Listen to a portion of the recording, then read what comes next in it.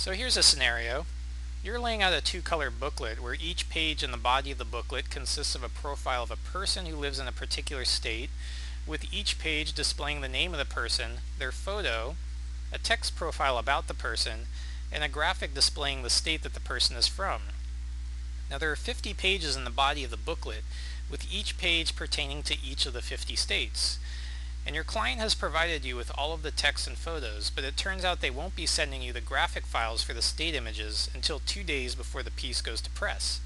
And that's cutting things pretty short, but you have a lot to do in the meantime, so you diligently lay out the text and the photos on your page, and you place these little white placeholders for the state images that are still to come. And you also convert your photos to duotones, because remember this is a two color job, and if I go to my swatch palette, you can see that our two colors are going to be black and PMS 120, which is the yellow color that we're looking at. And that takes some time. And now you're ready and your client lives up to their promise and delivers the art on time. And now that you have everything in place on your page, you're ready to start placing this art. And so we can click on our placeholder image here and we and I know that this state is going to be the state of Montana. So I'm going to find my montana.eps image here and I'm going to place it. And that's not looking good even when I get rid of my white box in the background, which is what I intend to do. That state is green and that's not going to be the correct PMS color and I can tell right away just by looking at it it's not the correct yellow color that we want. I'm going to go to my swatch palette and sure enough, we've introduced a new PMS color, which is Pantone 358. Now I'm hoping that this is just a one-time deal and that maybe, hopefully, this is the only state that's the wrong color. So I'm going to click on Nevada here and I'm going to find my Nevada image and I'm going to place that and sure enough it's green. In fact, when I go back and check, it turns out that all 50 states use the PMS 358 color.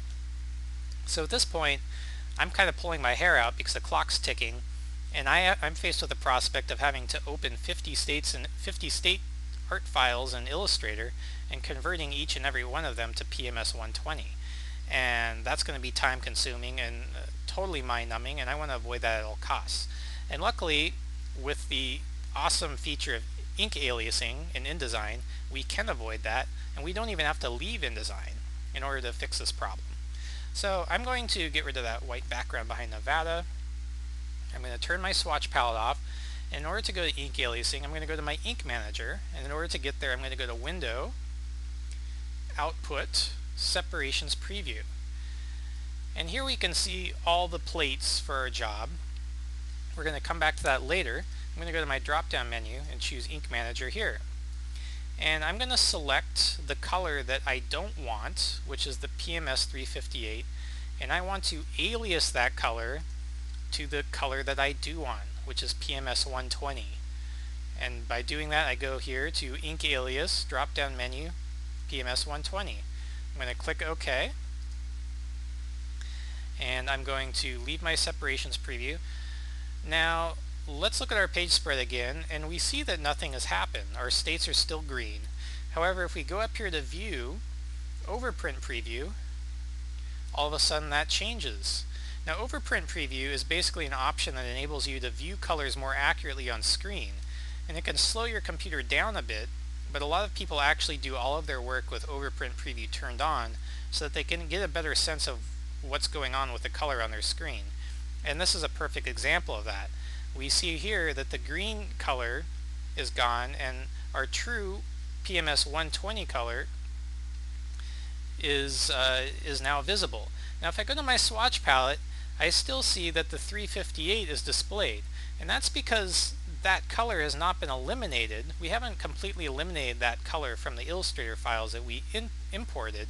It's just that that color is being aliased onto the PMS 120.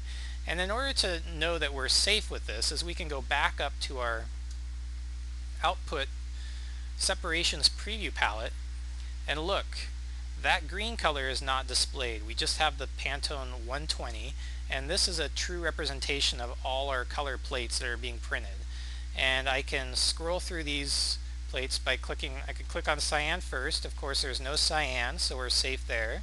Click on magenta, there's no magenta. Click on yellow, no yellow. Click on black, and there's all our black. And I click on our 120, and there it is. I can shift click, and those are our two colors. And we're in good shape. In fact, I don't have to do anything else. I can package this up, send it to the printer, and we're good to go. I'm going to quit out of this and I'm going to go back to our to our ink manager to output separations preview and ink manager. And I'm going to turn my ink aliasing off. And let's talk about another scenario where ink aliasing is useful. Let's say that we've been laying out these pages using the yellow PMS 120 in black. And let's pretend for now that these state images um, are yellow. That um, we intended all along for these state images to be 120 and we're we're getting ready to go we're getting ready to package this up for the printer. And then all of a sudden our art director calls in a in a panic and says stop the presses. We need to change this job from PMS 120 in black to PMS 358 in black. And so again, that's really scary because I the PMS 120 or the, is the duotone color that I've used, PMS 120 in black in all these photos. So I'm faced with a prospect of having to open each and every one of those duotone photos and changing them all to PMS 358 in black. And that would just be a nightmare.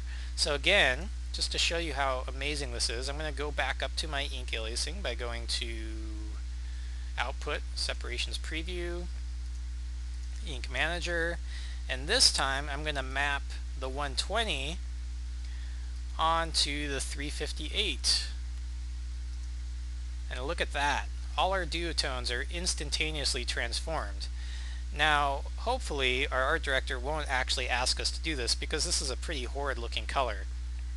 But I'm just demonstrating how incredible this feature is that you can actually convert every single duotone that is in your InDesign document to a new color if need be. And that's ink aliasing.